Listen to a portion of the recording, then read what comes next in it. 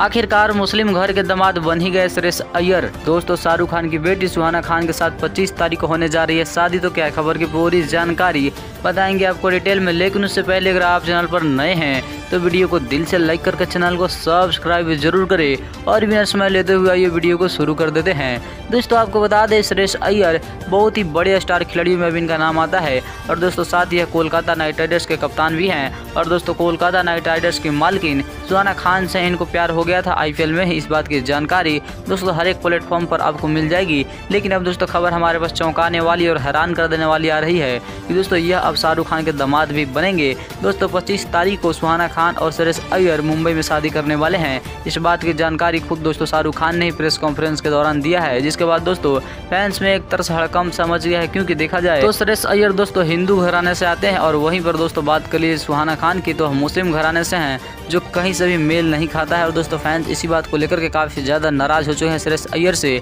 कि सुरेश अय्यर को शादी ही करना था तो कोई हिंदू लड़की से शादी करना चाहिए था, मुस्लिम लड़की से नहीं। आपको बताते चले, दोस्तों, इस बात को लेकर के फैंस ने काफ़ी ज़्यादा ट्रोल भी किया सुरेश अय्यर को। लेकिन दोस्तों, उसके बावजूद सुरेश अय्यर शादी करने जा रहे हैं पच्चीस तारीख को, जो कहीं ना कहीं दोस्तों देखा जाए तो बहुत ही बड़ी गलत बात है फैंस के नज़र में। लेकिन आपकी नज़र में क्या सही फैसला है? सुरेश अय्यर का या फिर गलत फैसला है, कमेंट बॉक्स में आप अपनी प्यारी प्यारी राय ज़रूर हमें भेजिएगा।